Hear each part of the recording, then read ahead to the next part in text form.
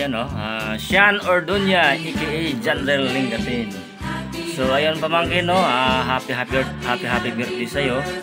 So wish ko lang sa birthday mo na sana may pagbabago mag, may pagbabago ka na. And then ah, lagi kang makinig at sumunod sa mga sinasabi ko.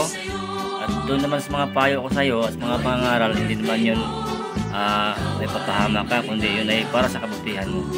So ayun, uh, gulang sa pangarap mo. Kung mo lang mag-aral ay 100% naman na support ako sa'yo. Basta huwag mo lang dagdagan yung mga pagkakamali mo. Hindi naman ako ay magsorry sa'yo kung lagi kitang napagalitan. Dahil minsan talaga, mm, yung sobra na magpasaway talaga, di ba? So, nagsisihan ko rin naman yun. Basta ako, ah, pasensya ka na. At sorry din, no, sa mga sinasabi ko.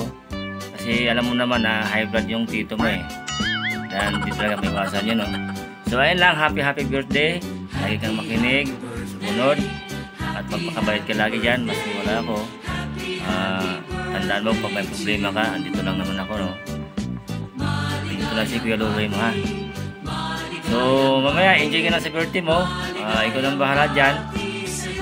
So, wala na ako ibang sasabihin pa. Baka mapaiyak pa ako, eh. Sa ano ha, Jandril, ah, ingat ka palagi dyan. Ah, lagi kang makinig kinaabo dyan.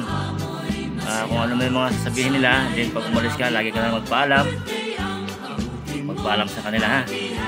Hindi naman, ah, yung regalo ko, baka pag uwi ko dyan, ah, meron ako regalo sa'yo. Basta asahan mo yan.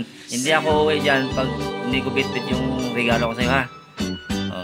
Ayun lang, uh, Janrel, ah, maraming, maraming salamat sa iyo kahit eh, napagalitan ka. Ah, nandyan ka pa rin, nandyan ka pa rin. Hindi pa rin, hindi ka pa rin nagbabago. Pero ang feeling ko lang sa iyo na sana magbago ka na, lagi kang sumunod makinig sa akin. At dapat din talaga na mayroon kang respeto sa kapwa mo, ha? So ayun lang, happy happy birthday, hindi ko na pa. Medyo mahaba na eh. So ayun na, shout out lang kina Abo dyan, kina Agat. Ah, maraming salamat dyan sa pamilya Chanuba. Pag tingin-tingin kay Sean Ordunya dyan sa bahay. So ayun po ha, maraming salamat sa inyo. Babu!